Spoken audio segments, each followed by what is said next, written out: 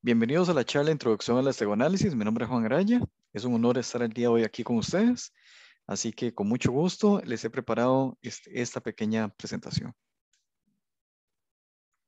Un poquito sobre mí. Soy bachiller en Informática Empresarial de la Universidad de Costa Rica. Tengo una maestría en la CUP en Madrid. actualmente estoy sacando una maestría en el Instituto Tecnológico de Costa Rica. Ahí voy poco a poco.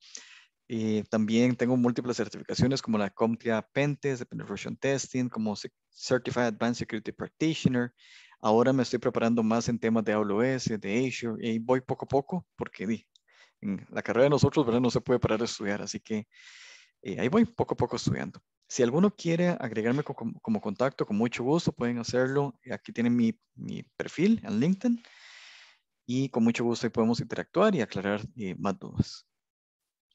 La agenda es sumamente sencilla, como lo pueden ver en este momento. Voy a enfocarme eh, sobre qué es escenografía, cuál es el riesgo de utilizar escenografía para mal, porque la escenografía no es algo malo. La escenografía se puede utilizar, por ejemplo, para poder eh, proteger los derechos de autor, lo que es copyrights, ¿verdad? Sin embargo, los maleantes lo pueden utilizar para hacer daño, para robar información, para enviar payloads, etcétera, que dentro de un ratito se los voy a explicar voy a eh, comentar una de las tantas técnicas que hay para poder esconder datos, que en este caso se llama Least Significant Bit o LSB, donde la idea es poder modificar de forma inteligente y de forma este, disimulada ciertos píxeles en una imagen para que eh, se pueda ir escondiendo parte de la información que se quiera enviar sin que se afecte mucho la imagen original.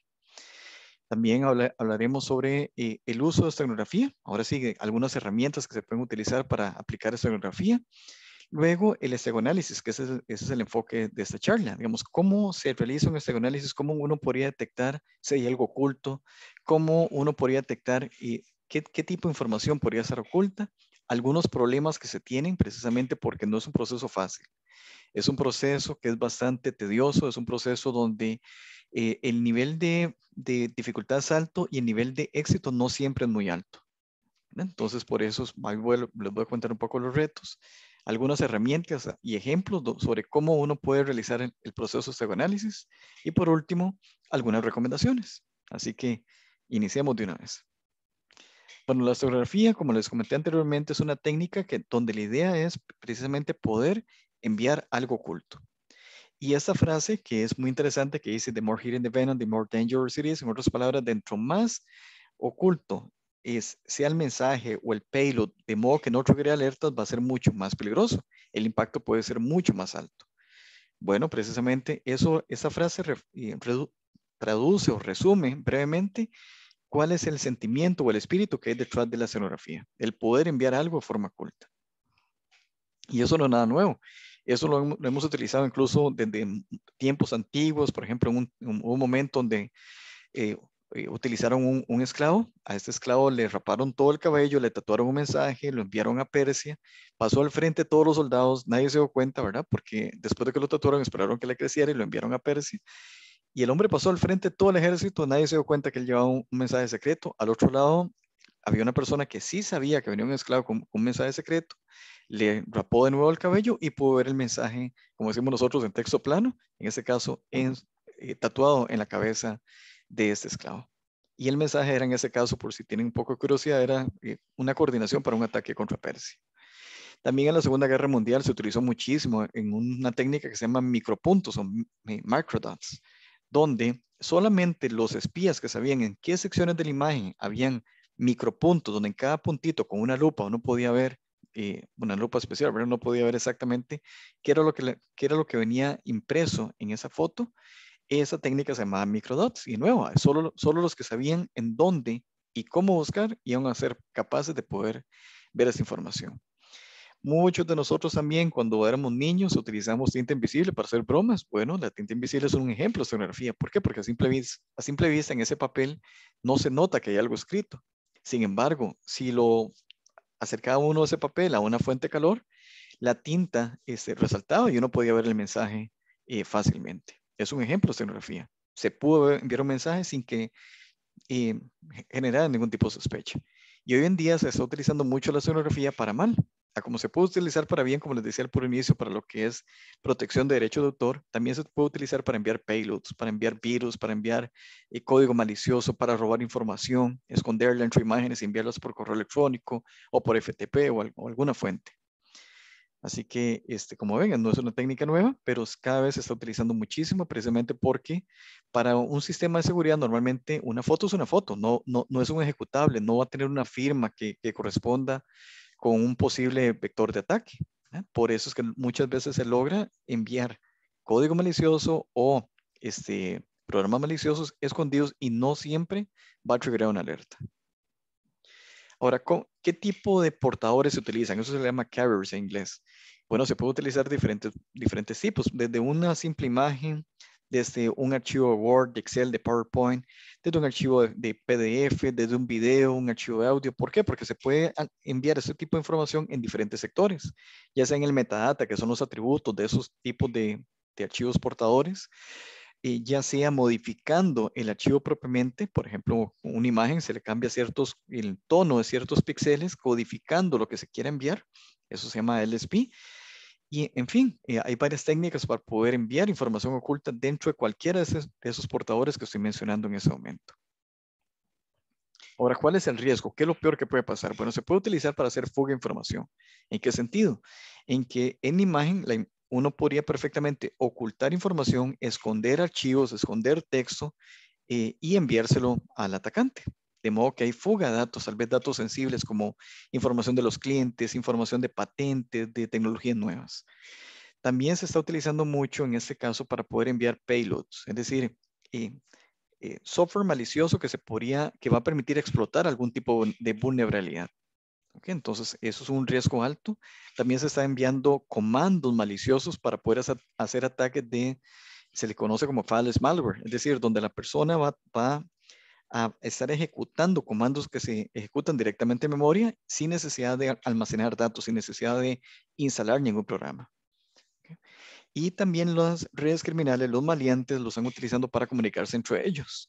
se intercambian imágenes, suben imágenes en ciertos sectores, en ciertas páginas, y no se nota. Básicamente es una imagen común y corriente.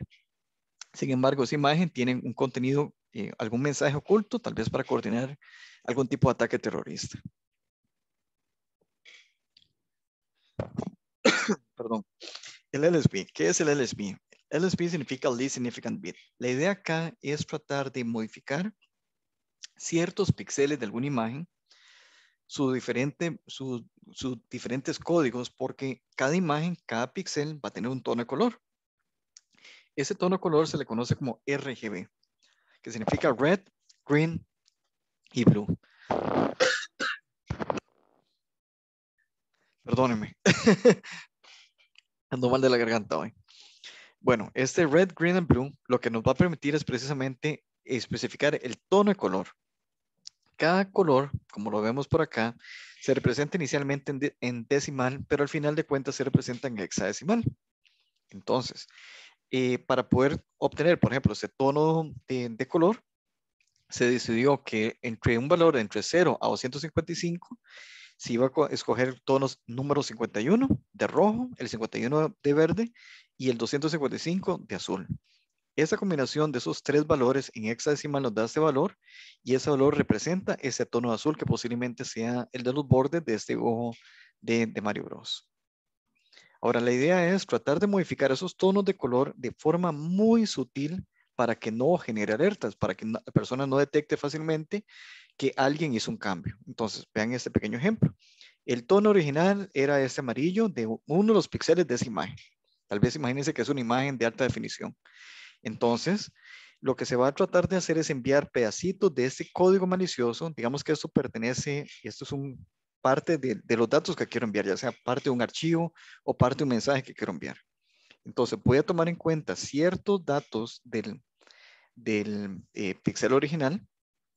Voy a alterarlo de manera que voy a poder encontrar ciertos valores de los que quiero esconder en la imagen, perdón, en el pixel exactamente pero que aún así el pixel resultante tenga un tono de color muy parecido. si lo vemos aquí a simple vista, lo original era este tono amarillo. En el, en el tono que quiero cambiar, si simplemente lo sustituyo totalmente el pixel, el tono de amarillo sí se nota que hay una diferencia. Es un tono mucho más claro con respecto a este. Sin embargo, si utilizo esta técnica del least significant bit, en otras palabras, voy a, voy a jugar solamente con aquellos bits que sean menos significativos. En otras palabras, bits donde al sustituirlos, aún así el tono color sea muy parecido. El impacto sea el mínimo, casi no se nota. Y si lo vemos acá, esos dos son muy, muy parecidos. Sin embargo, acá estoy codificando parte del mensaje que quiero enviar, ¿verdad? Que en este caso lo ven. 1011, 1011 es la parte final de este, eh, de este píxel que estoy modificando y también tengo una parte eh, del píxel de forma original que no, que no fue sustituido, que no fue modificado. Ahora, ¿será tan difícil o, qué tan difícil será aplicar esas técnicas de sonografía en la vida real? Es sumamente fácil. Por ejemplo, con este comando, sin necesidad de instalar absolutamente nada, y eso es el comando copy, que es parte del sistema operativo, uno perfectamente puede hacer, puede esconder archivos dentro de otro archivo. Puede y puede modificarlo a nivel binario. Vean este pequeño ejemplo. Si yo quisiera utilizar, esconder este archivo de texto que tiene un IP, digamos que es un IP para comunicarse con un command and control, eh, y meterlo dentro de esta imagen de, gatos, entonces es sumamente fácil. Nada más uno digita copy slash b, espacio, el nombre del, eso se le llama el cover file del archivo que se va a utilizar como cubierta, que en este caso va a ser esta foto. Luego le pongo el símbolo de más, el nombre del archivo que, que quiero ocultar, que en este caso va a ser, digamos, command and control.txt. Y por último, se deja un espacio se pone el nombre de la, de la, imagen que va a convertirse en un estego objeto va a ser la imagen que va a tener los datos ocultos. Entonces vamos a hacer ese pequeño ejemplo. Vean qué sencillo. Por ejemplo, yo creo, yo creo este archivo de Word, perdón, este archivo de texto que se llama dropping. Tengo una foto de poundcr. Y vean qué sencillo cómo se funciona esto. Yo en este caso tendría este archivito dropping.txt, tengo un poundcr.png, utilizando el comando que les acabo de mencionar de copy slash b, eh, selecciono, ok, ¿cuál es el archivo que voy a utilizar como cubierta? La, el logo del, de la conferencia PoundCR, ok, más, ¿cuál es el archivo que quiero ocultar? Dropping.txt. ¿Cómo quiero que se llame el archivo, eh, que en este caso va a ser un este objeto, va a ser conferencia.png? Ese archivo conferencia.png es una imagen también. De hecho, se puede abrir y va, se va a ver exactamente igual que el logo original de PoundCR. Sin embargo, por abajo por dentro, perdón, tiene eh, en este caso oculto este archivo texto dropping.txt. Y aquí lo podemos ver. A simple vista, los dos se ven exactamente igual. Si los abro, los dos también se ven exactamente igual. Sin embargo, hay ciertas diferencias que nos van a ayudar a detectar que hay algo raro. Por ejemplo, una diferencia en tamaño. Ahora, ¿cómo será que se hace para poder ver en texto plano el archivo que está oculto dentro de ese archivo, en este caso, dentro de ese este objeto. Básicamente van a seleccionar la imagen, que en este caso fue conferencia.png, la van a abrir con bloc de notas, y al abrirlo con bloc de notas uno se va al puro final del archivo y van a notar que en texto plano se ve que el contenido de ese archivo de, eh, que utilizamos para poder esconder dentro de la imagen. En este caso nos dice claramente www.descargaejemplovirus.com, digamos que ese es el, el URL del Command Control o pudo haber sido un IP o pudo haber sido cualquier otra cosa. Este segundo ejemplo es todavía más interesante. Ok, en el primero fue con LOLBeans, ¿verdad? Sin necesidad de instalar absolutamente nada. En este otro vamos a, utilizar una herramienta muy interesante donde la idea, vamos, vamos a eh, esconder información, ¿verdad? Porque esa es la idea de la fotografía, dentro de una imagen. Sin embargo, esta imagen sí se puede ejecutar. ¿Ok? Eso eh, se le llama polyglot a ese tipo de tecnología. Y vean qué facilito cómo funciona. Simplemente, ¿qué vamos a hacer? Primero vamos a descargar, vamos a conectarnos a este repositorio, lo descargamos utilizando git clone, este https, github, eh, minecraft, eh, Eso simplemente se descarga, lo abrimos, nos vamos al folder que se crea de forma automática y vemos que trae un ejemplo, trae un, un dibujo un gato, eh, trae uno, una serie de ejemplos Y esta es la información que trae adentro. Este que está acá, que dice powerglot.py, este es el programa hecho en Python que vamos a utilizar para poder esconder la información y no solamente esconderla, sino también nos va a permitir ejecutar la información. ¿Ok? Y lo que tenga el archivo. Y lo que tenga el archivo podría ser perfectamente un, instrucciones, como por ejemplo, comuníquese con la máquina del atacante a través de un, un puerto específico. En otras palabras, un backdoor. Y es justo lo que vamos a tratar de hacer. Vean qué fácil.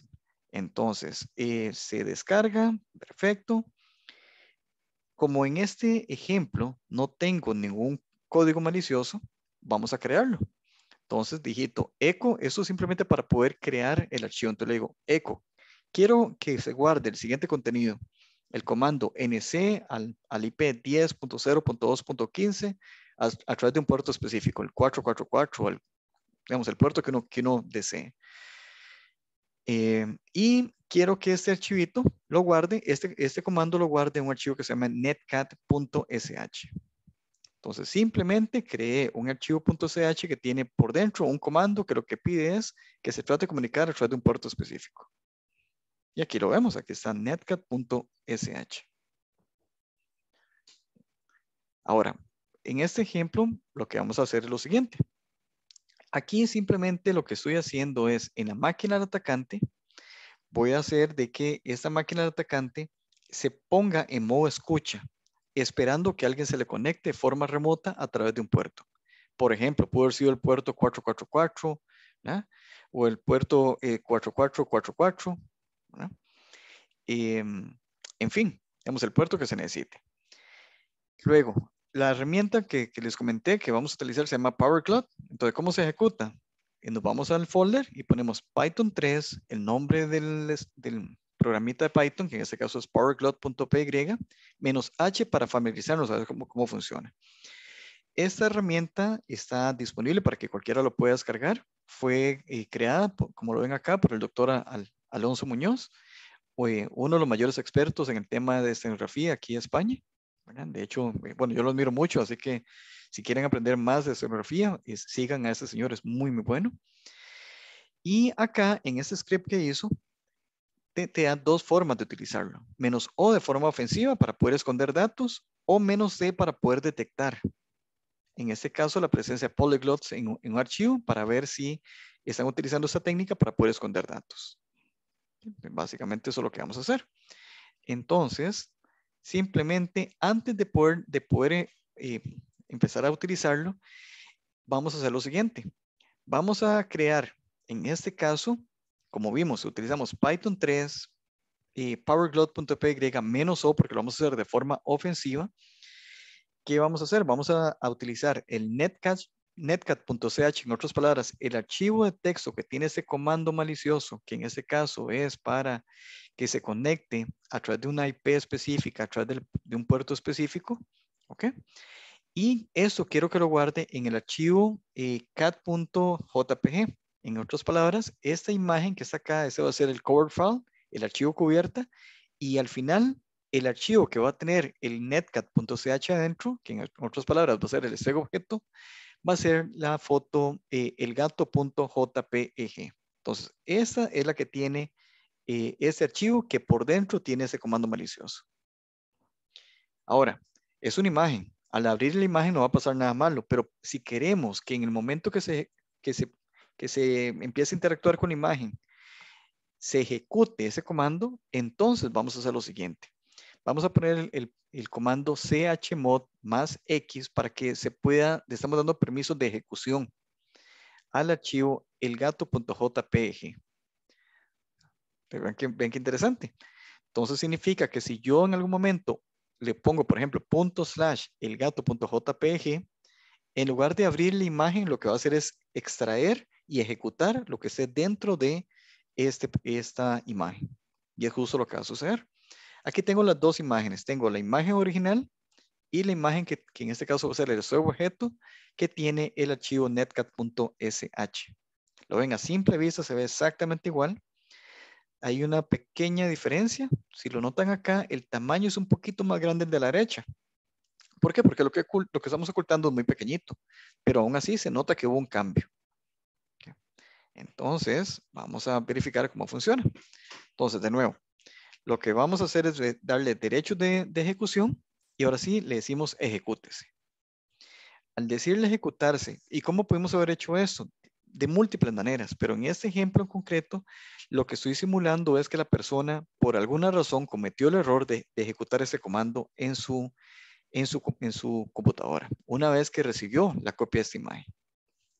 Entonces la persona le da punto slash, el nombre de la foto, vean que no es un ejecutable, ni es un punto .ch, ni, ni nada, ¿verdad? Simplemente es, es una foto. Por dentro sabemos que lo que está diciendo el sistema es, abra y comuníquese con, la, con un IP específica a través del puerto, de un puerto específico. Y es justo lo que está pasando. En la máquina del atacante se, se van a dar cuenta, eh, se, se está dando cuenta que alguien se está tratando de conectar y nos dice desde cuál IP se está conectando y a partir de ese momento ya el atacante puede enviar comandos hacia la máquina de la víctima. Si la persona digita aquí, por ejemplo, el atacante digita test, en la máquina víctima se nota y se confirma que se recibe el comando malicioso. Ahora, ¿qué es el estegoanálisis? El estegoanálisis en este caso va a ser el proceso para poder tratar de determinar si hay algo oculto. Esa es la idea. ¿Cómo se hace? Hay un montón de técnicas, no es un proceso fácil. Empezando por una técnica de detección visual, en otras palabras, tratar de interpretar si tengo las dos fotos o los dos videos o los dos archivos de audio, algo que me permita saber con mis propios sentidos si hay algo oculto. Entonces, si uno pone las dos fotos a la par, eh, a simple vista, muy posiblemente no va a poder capturar nada, no, no, va, no va a poder darse cuenta. Sin embargo, con algunos programas se va a poder resaltar y se, se van a poder aplicarles diferentes filtros para visualmente detectar si hay algo. Hay otras formas basándose en datos estadísticos donde se pueda tratar de encontrar patrones y en el momento que a través de estos cálculos estadísticos se encuentra alguna anomalía, eso nos puede determinar o nos puede dar la idea de que posiblemente hay algo oculto. Recuerden que el, el objetivo es verificar si hay algo oculto o no. ¿Para qué? Para facilitar luego el proceso de extracción. Luego, tendencias con histogramas. Bueno, precisamente se puede analizar el archivo, se, eh, puede utilizar histogramas para encontrar tendencias. Eh, qué sé yo, si nota que en un sector de la imagen hay como demasiados cambios en ese sector de la imagen, eso le podría llamar la atención. Luego, con editores HEX, uno puede eh, analizar el archivo e incluso podría encontrar ciertos patrones. Y por último, si tuviéramos la suerte porque hay varias, formas de hacer eso, pero si tuviéramos la suerte de tener el archivo eh, que se utilizó como archivo cubierta, más el archivo que tenemos la sospecha que hay algo oculto, ahí uno puede hacer pues, múltiples tipos de comparaciones para verificar si tal vez tiene algo oculto. Si notamos que, el, que el cálculo del hash nos dice que son diferentes. Si notamos que a nivel de tamaño son distintos, si analizar los dos archivos a nivel de hex notamos diferencias, eso nos puede dar pistas para poder saber si hay algo oculto o no. Ahora, ¿cuál es el reto? ¿Por qué no es tan fácil? No es tan fácil porque hay múltiples algoritmos para poder hacer esto. LSP es la forma más sencilla, pero hay versiones de LSP, versiones de cómo implementar el, técnica de LSP, de Least Significant Bit. Hay unos que son basados en el, dominio del espacio y otros que son basados en el dominio de la frecuencia. Hay unos que son combinando las dos cosas. La implementación. Hay un montón de, herramientas de código fuente abierto y otros que son de, paga y cada uno lo puede implementar de forma diferente. Entonces, por ejemplo, si yo tengo dos, eh, una imagen y quiero meter un archivo texto en esa imagen, ¿ok? Si yo lo hago con copy lo hago con stack height, posiblemente la forma en que se implementó es distinta por abajo. Entonces, el hecho que yo lo haya ocultado datos con copy no significa que yo con otra herramienta como StackHide pueda poder extraer los datos. Eso es lo que dificulta bastante ese proceso. Ofuscación, por supuesto, los malientes no son nada tontos. Ellos buscan la forma de hacer la bien posible en ese proceso de, investigación forense, ¿verdad? Y, este, y ellos eh, meten ofuscación para tratar de, confundir, para, para que no haya semántica, para que no sea fácil ese, ese proceso de interpretación. Y cifrado, por supuesto. Eh, perfectamente, cuando uno aplica técnicas de estereografía, uno puede incluso eh, cifrar la información e incluso ponerle una contraseña. Entonces, solamente si usted sabe con qué, cuál algoritmo de, de cifrado se utilizó y cuál es la contraseña, posiblemente va a poder extraer los datos. Ahora, ¿qué herramientas habrá? ¿Qué herramientas existen para poder hacer este análisis? Hay múltiples. Vamos a enfocarnos con unas tres o cuatro. Vamos a verlos ahorita cuáles, algunas de las, de las más comunes. Por ejemplo, este Tech Secret es muy interesante. Este Tech Secret lo pueden descargar de esta página web, techsecret.sourceforge.net. Este también es de código fuente abierto, es, es sumamente fácil de utilizar y es bastante poderoso. Eh, a pesar de que no es una herramienta nueva, tiene la capacidad de detectar muchos tipos de eh, posibles implementaciones de estereografía en diferentes tipos de archivos, no solamente en imágenes, como lo vemos por acá, sino que puede detectar eh, uso de estereografía en archivos de audio e incluso en archivos de, de video. Ahora, ¿cómo qué podemos detectar? Si, por ejemplo, se utilizó cualquiera de esos programas que vemos acá, como eh, camuflaje, si InPicture, eh, PGE, um, Stenography versión 1.6.5, etcétera. Si, si, el archivo fue, eh, si, se utilizó estenografía utilizando cualquiera de esas herramientas, con Stack Secret podríamos tratar de detectarlo. También detecta si se utilizó alguna herramienta que lo que hace es que mete los datos al final del archivo. Entonces, con esa herramienta se puede detectar ese tipo de comportamientos. Eh, consulta una base de datos que nos, puede tratar de ayudar a detectar si se utilizó hasta más de 40 eh, diferentes tipos de herramientas de estenografía, como lo vemos por acá. E incluso, como les decía, hay, formas de hacer cada vez más difícil el proceso de estenografía. Eh, por ejemplo, el LSP, les dije que busca los bits menos significativos. Bueno, hay una forma que es secuencial, es decir, en el momento que encuentra un píxel y, detecta sus bits menos significativos, a partir de ahí, al siguiente píxel le trata de meter algún dato de lo que quiero ocultar y al siguiente píxel, ven, están como secuenciales. Entonces, por supuesto, en imagen como tal, los cambios se van a ver como eh, centralizados en ese punto, depende cuál fue el, el píxel inicial que se utilizó para hacer, empezar a meter información.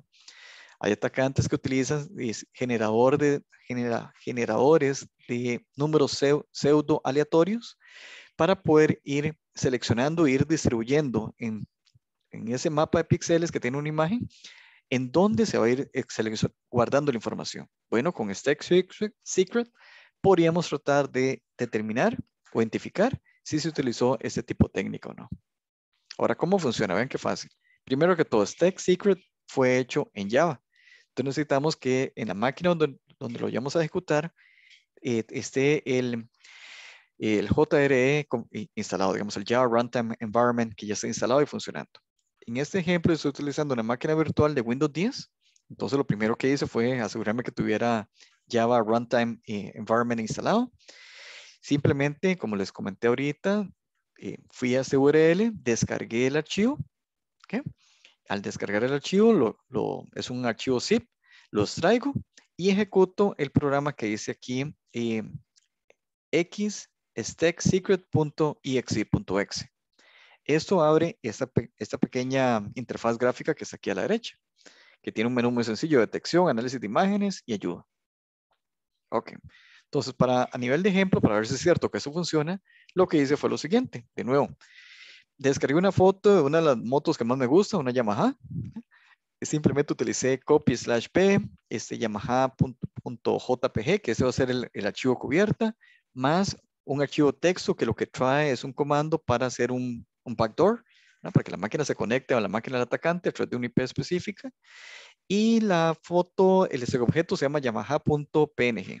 Okay, simplemente utilicé esta tecnología para esconder un archivo texto que tiene un comando dentro de una foto. Y de hecho, como siempre les, he comentado, eh, el archivo, el objeto con el archivo original se ven muy, muy parecidos. A simple vista no hay nada, eh, digamos, que llame la atención.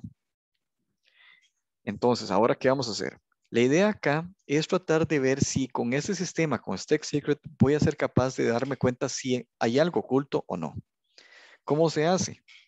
Bueno, simplemente se van a donde dice eh, Stack Secret, ¿verdad? y le dan clic en detección, buscan el path, es decir, la ruta en donde están los archivos que quieren que se analice. Por ejemplo, yo le dije, busque las fotos o los archivos, sean fotos, archivos, lo que sea, ¿verdad? que esté en este path, en, la carpeta de descargas, en PoundCR. Y simplemente le dije buscar. Él en ese momento va a empezar a buscar y cuando empieza a buscar dice, mira, sí encontré algo. Algo me le llamó la atención del archivo yamaha.png y que le llamó la atención de que fue alterado utilizando, como les comenté al, inicio, una técnica donde agrega la información que se quiera eh, esconder al final del archivo. Por eso dice end of file. Y esa es la técnica que se utilizó. Una técnica heurística. Y aquí podemos ver cuál es el archivo que le llamó la atención. De nuevo fue yamaha.png. Entonces ven, con ese sistema de Stack Secret nos va a permitir detectar si hay algo oculto. Ese es el objetivo la, del stego análisis. Ahora, no es la única forma. Vamos a ver otros ejemplos. Uno, detección visual. Es decir, aquí el sistema no, no, te va a decir si hay algo oculto. El humano es el que va a tener que interpretar a ver si hay algo oculto. Entonces, ¿cómo se hace? Vean qué vacilón. Por ejemplo, baja una foto bien bonita en la playa Santa Teresa, una de las playas más bonitas de Costa Rica. Ok, se consigue esa foto en un JPG. Y vamos a tratar de editar esa foto.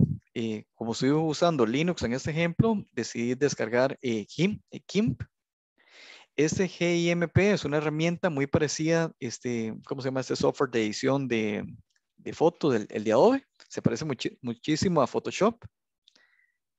Y de hecho, ven que no es mentira. Se ve muy, muy, muy parecido. Muy bonita la, look and feel. Ahora, ¿cuál es la idea aquí? Vamos a tratar de esconder un mensaje en esta imagen. ¿Cómo se podría esconder? Por ejemplo, veo que aquí esta nube, toda esta sección es blanca por unas nubes que hay ahí. Entonces se me ocurrió escribir un mensaje del apellido de un amigo mío. ¿Ok? Entonces le estoy poniendo el mensaje, a ser la palabra Raga. Ok, entonces, para que la palabra Raga no se nota no se note en esta imagen, lo que hice fue tomar una muestra, por aquí hay un botón para muestras, este que está acá. Tomé una muestra del tono de color que está en, que tiene la nube. Y luego le agregué una etiqueta, un label, De texto y puse la, digité la palabra raga. Okay, vean que a simple vista ahí no se ve que hay algo escrito, simplemente veo una foto de un paisaje lindísimo de Costa Rica y hasta ahí. Ahora, guardo este archivo por si lo quiero seguir editando y así metiéndole más información. Y en este caso, como GIMP, estas son las extensiones que te permite. Y para, eh, para poder eh, enviar esa foto o poder este, utilizarla para ataques de escenografía, como ejemplo, lo que hice fue exportarlo como un PNG en, en este formato. Ahora, ¿qué es lo que vamos a hacer?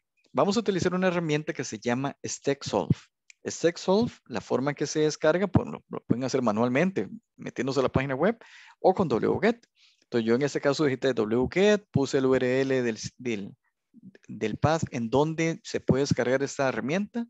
Es un punto .jar, ya se imaginan, ya, ¿verdad? Y este le digo menos O, y, en, eh, y el archivo se llama eh, stacksolve.jar. Ese es el que me interesa descargar. Entonces llega, simplemente lo descarga y lo tengo en la carpeta de downloads. Ok, ahora, una vez que lo tengo en la carpeta downloads, este punto .jar no es un ejecutable. tengo que darle permiso de ejecución. Entonces, ¿qué es lo que voy a hacer?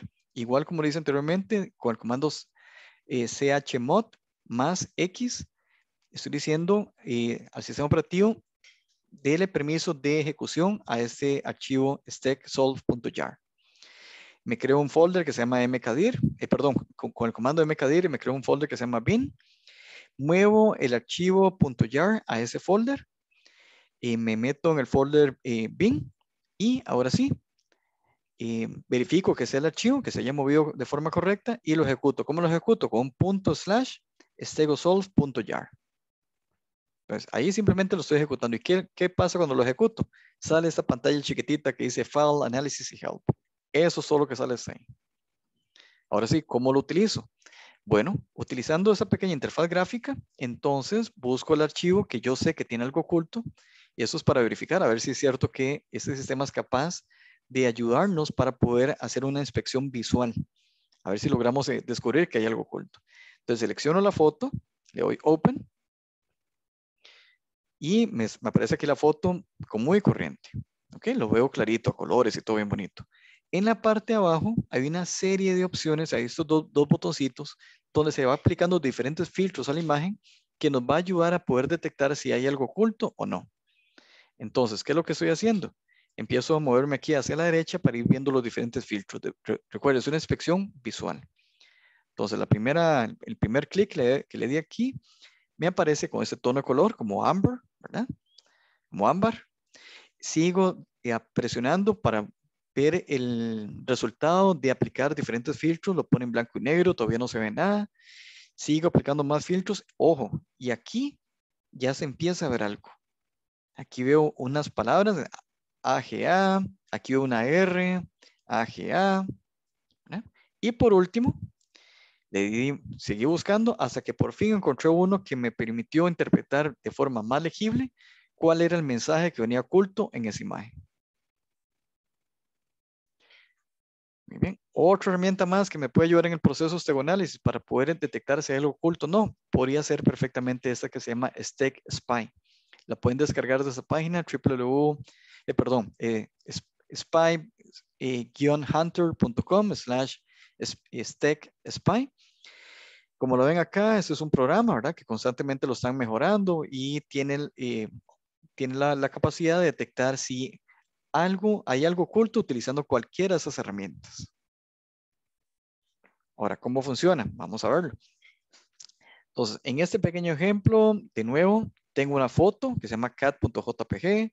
Tengo un archivo que yo sé que tiene un comando malicioso para poder hacer, tratar de hacer un, un backdoor utilizando Stack Hide, que eso es una herramienta que permite esconder cosas dentro de archivos, aplicar esa tecnología.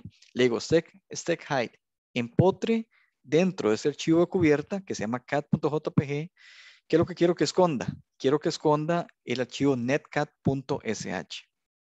Entonces, estoy metiendo ese netcat.sh dentro la, de, la, de la imagen de este gato de cat.jpg.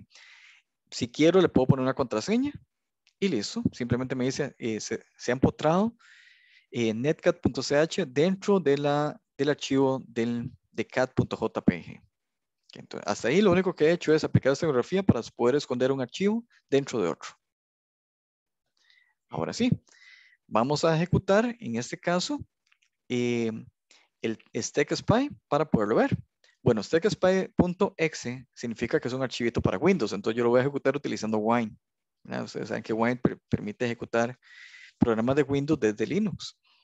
Entonces, eh, pongo Wine, Stack Spy, la versión que tengo, la 2.1.exe, y esto me abre esta pantalla.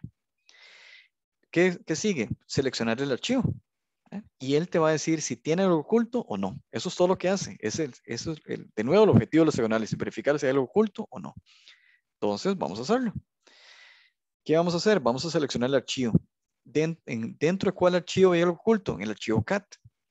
Entonces lo selecciono, le digo open y él solito te lo, va analiza, dura menos de dos segundos y te dice rápidamente que en este caso sí encontró algo. Signography found at marker position y te dice en qué posición eh, del, del archivo encontró algo oculto. Muy bien. Ahora, a nivel general, ¿Qué les puede ayudar para que este proceso de análisis sea cada vez más, eh, bueno, sea más efectivo cada vez que lo traten de hacer? Lo primero, siempre, como siempre se hace a nivel de estudios forenses, es siempre trabajar sobre una copia. No trabajen sobre la imagen que, ustedes tienen sospecha. Siempre trabajen sobre una copia. ¿okay? Segundo, traten de averiguar todo lo que puedan sobre ese archivo con OSIN, usen Google Docs, usen, este, verifiquen, qué sé yo, en virus o tal. Hay un montón de herramientas donde ustedes pueden tratar de obtener la mayor cantidad de información sobre esa imagen. Analicen el metadata. Muchas veces los maleantes ni siquiera se, se preocupan por modificar la imagen. Ocultan datos en eh, los diferentes atributos de una imagen. Eso es el metadata. Entonces, qué sé yo, en lugar de poner en el campo autor el nombre del, del fotógrafo que tomó la foto, eh, van a poner una dirección IP. ¿eh? En lugar de, que se registre la ubicación geográfica desde donde se tomó la foto, tal vez ponen un código que les va a servir para luego hacer un ataque en una segunda etapa. También analicen el archivo utilizando un editor HEX. Con este tipo de editores ustedes pueden ver el, archivo, sus diferentes componentes y su eh, equivalente en, utilizando este tipo de editor y eso les va a poder llamar, les va a poder ayudar a poder detectar strings poder detectar el tipo de archivo, un montón de características que les puede ser muy útil. Utilice herramientas de análisis, como vieron, no es fácil. Sin embargo, uno tiene que empezar totalmente de cero. Hay múltiples herramientas de código fuente abierto, otras son de paga. Por ejemplo, McAfee tiene un, prototipo ahí donde uno puede subir archivos para verificar si, tiene algo oculto. Un diseño muy, muy interesante utilizando esta tecnología AWS. Aplique filtros a las imágenes en caso que tenga que utilizar un análisis y utilizando detección visual en imágenes. Bueno, ya vieron los filtros ahorita, funciona realmente eh, y podría ayudarles a detectar. Y por último, entrenamiento constante. Esto cambia muchísimo. Constantemente están utilizando nuevas herramientas, nuevas formas de, esconder información, cada vez más complejas. Y por ende, la única forma de, de hacer un buen trabajo de análisis es a punto de entrenamiento constante, de probar, de eh, familiarizarse con, con el proceso para poco a poco hacerlo cada vez mucho mejor y más eficiente. Bien, muchas gracias. Eso sería todo por el día de hoy. Si tienen alguna pregunta, con mucho gusto.